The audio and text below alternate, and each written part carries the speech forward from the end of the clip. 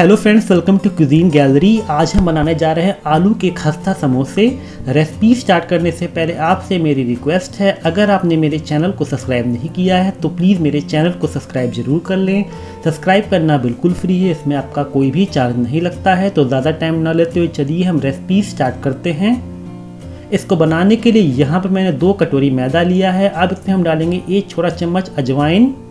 अजवाइन को हाथ से इस तरीके से क्रश कर लेंगे जिससे कि इसका फ्लेवर आटे में आ जाए। आधा छोटा चम्मच डालेंगे नमक, एक छोटा चम्मच बेकिंग पाउडर और सात से आठ चम्मच रिफाइंड ऑयल मोयन के लिए। आप चाहें तो देसी घी का भी मोयन दे सकते हैं। इसे अच्छे तरीके से मिक्स कर लेंगे। हाथ से अच्छे तरीके से मसलते हुए इसे अच्छे से मिक्स करेंगे जिससे ये आटे में अच्छे से मिक्स हो जाए। तो इसे मैंने अच्छे से मिक्स कर लिया है। इसका टेक्सचर कुछ इस तरीके से होना चाहिए और इसमें अच्छी सी बैंडिंग आनी चाहिए। अब हम थोड़ा थोड़ा पानी डालते हुए इसका एक सख्त लेकिन नरम आटा गूद कर तैयार करेंगे। पानी एक बार में नहीं डालेंगे थोड़ा थोड़ा करके डालेंगे और अच्छे तरीके से मारते हुए आटा गूद कर तैयार कर लेंगे। तो आटे को गूद कर मैंने तैयार कर लिया है। ये देखिए इस तरीके से। अब इसे हम 20 मिनट के लिए रख देंगे ढक के, जिससे कि ये सेट हो जाए। तब तक हम स्टफिंग तैयार करेंगे। तो इसके लिए हम पैन रखेंगे गर्म होने के लिए। इसमें डालेंगे रिफाइंड ऑयल ऑयल को गर्म होने देंगे। ऑयल हमारा अच्छे से गर्म हो चुका है। अब इसमें डालेंगे बारीक कटी हरी मिर्च, लहसुन और अदरक। लो मीडियम फ्लेम पर दो से तीन मिनट के लिए अच्छे से भून लेंगे। अब इसमें डालेंगे आधा छोटे चम्मच हींग, एक चम्मच धनिया और एक चम्मच सौंफ। एक से दो मिनट इसे भून लेते हैं। अब इसमें हम डालेंगे आलू। तो यहाँ पर मैंने 500 ग्राम आलू लिया है। आलू को मैंने उबाल कर छोटे टुकड़े में काट लिया है। मिक्स कर लेते हैं इसे। आलू को भी हम लो मीडियम फ्लेम पर लगातार चलाते हुए 8 से 10 मिनट तक अच्छे से भून लेंगे। मसालों में आप चाहे तो इसमें धनिया पाउडर, हल्दी पाउडर और जीरा पाउडर भी डाल सकते हैं, पर इसका यूज़ मैंने नहीं किया है। आलू को भूनते आठ से दस मिनट हो चुके हैं। अब इसमें हम डाल देंगे नमक, जो कि रहेगा एज पर टेस्ट आलू को हल्का हल्का मैश भी करते जाएँगे चम्मच की सहायता से।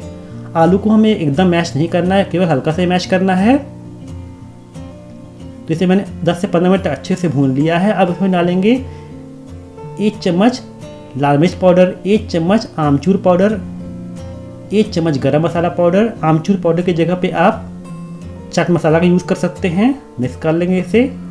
अब इसमें डालेंगे धनिया की पत्ती, बारीक कटी हुई। इसे भी अच्छे से मिक्स कर लेते हैं। हमारी स्टफिंग बनकर तैयार है। गैस की फ्लेम बंद करते थे रख देते ठंडा होने के लिए।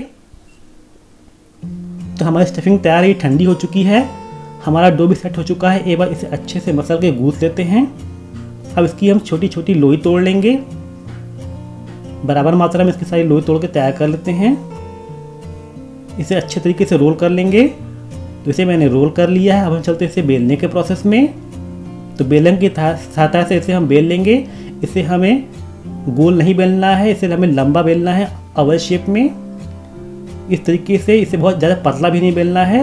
इसे दो पार्ट में काट लेंगे और इस तरीके से तिकोना फोल्ड करेंगे और एक कोन का शेप देंगे। अच्छे से दबाते हुए इसे प्रेस कर लेंगे। इस तरीके से एक फोल्ड पीछे की तरफ़ देंगे और तैयार की हुई स्टफिंग को अच्छे से फिल करेंगे, अंदर की तरफ़ प्रेस करते हुए। इसे क्लोज कर लेंगे, देखिए इस तरीके से अच्छे से दबा लेंगे जिससे कि ये खुले मत। तो सेम इस तरीके से हम सारे समोसे बना के तैयार करेंगे। इसे कोन का शेप देंगे, अच्छे से प्रेस करके दबा लेंगे जिससे कि खुले मत। एक फोल्ड पीछे की तरफ़ देंगे, आलू की स्टफिंग भरेंगे, अच्छे से प्रेस करेंगे और दोनों फोल्ड को इस तरीके से चिपका लेंगे। तो सेम इस तरीके से हम सारे समोसे बना के तैयार कर लेते हैं।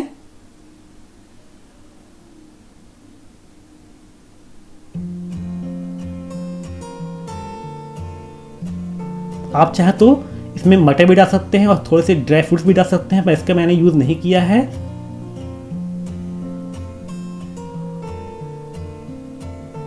तो मैंने सारे समोसे बना के तैयार कर लिए हैं। अब हम चलते हैं इसको तलने के प्रोसेस में। तो इसके लिए यहाँ पे मैंने कढ़ाई रखी है गर्म होने के लिए। इसमें डालेंगे रिफाइंड ऑयल ऑयल हमारा हल्का गर्म हो चुका है। गैस की फ्लेम लो कर लेते हैं और एक एक करके इसमें समोसे डाल देंगे तलने के लिए। समोसों को हम लो फ्लेम पर तलेंगे। आठ से दस मिनट तक उलटते पलटते हुए हल्का सा गोल्डन ब्राउन होने तक। इसे हमें लो फ्लेम पे ही तलना है। समोसों को हम हाई फ्लेम पे नहीं तलेंगे। तो ये हो चुके हैं। इसे निकाल लेते हैं। तो इस तरीके से हम सारे समोसे बना के तैयार कर लेंगे।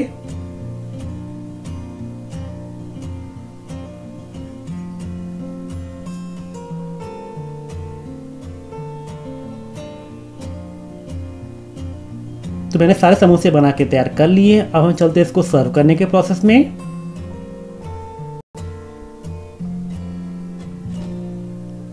समोसे बन के तैयार है, इसे मैंने सर्व कर लिया है। मैंने इसे सर्व किया है टमाटर की चटनी के साथ आप चाहें तो धनिया और इमली की चटनी के साथ सर्व कर सकते हैं। तो फ्रेंड्स आलू के खस्ता समोसे बनकर तैयार है। अगर आपको मेरी रेसिपी पसंद आए तो प्लीज़ मेरी वीडियो को लाइक शेयर सब्सक्राइब करना ना भूलिएगा। तो मिलते हैं अगले वीडियो में। Till then bye bye thank you have a great day